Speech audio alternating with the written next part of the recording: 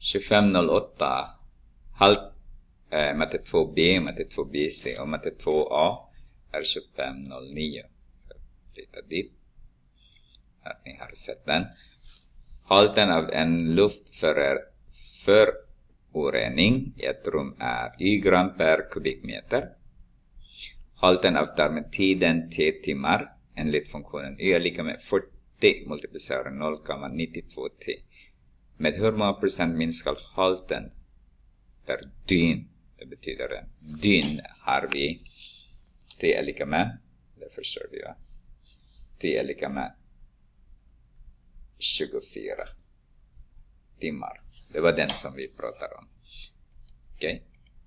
Och vi skulle kunna räkna hur många procent minskade den. Men hur vet man det? När man räknar hur många procent så tar man skillnaden först. Skillnaden, gamla, gamla minus det nya, eller skillnaden mellan dem, dividerat med det gamla. Det var den som vi, vi har gjort i ettan då.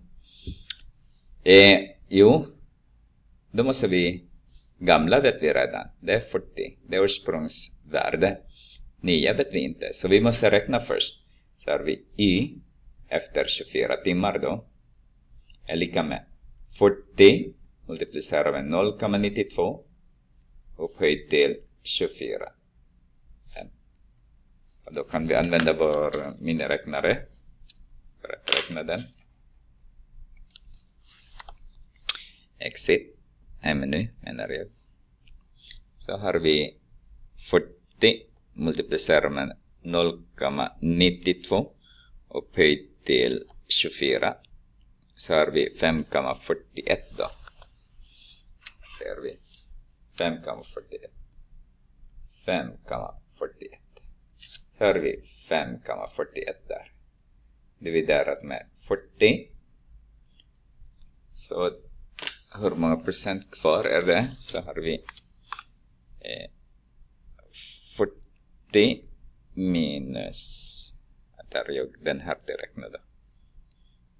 Så minus 5,41 dividerat med 40 så får vi 0,8647 och jag kan ta 0,865 och den här är den nu då.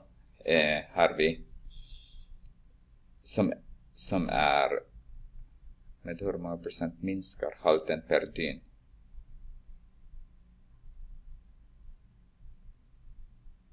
Ska jag gå och kolla. Och den minskar 0,8.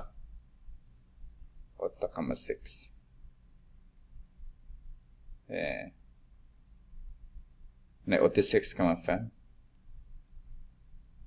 86,5 procent då. Ska jag kolla. Och den är som är kvar. Hur många procent minskar halten, halten per dygn? Och det är 86,5 procent. Eh, varför jag var lite tveksam därför jag tittade på här. Eh, nyvärde dividerat med det gammalt värde. Här är det förändringsfaktor. Så från 100 procent minus den här som är kvar, den här som är kvar. Så får vi den där då.